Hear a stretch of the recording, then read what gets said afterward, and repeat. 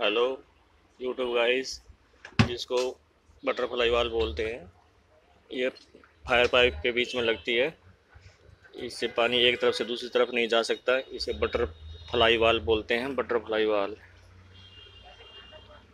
इसको ऐसे ऐसे हम करके बंद करते हैं। Thank you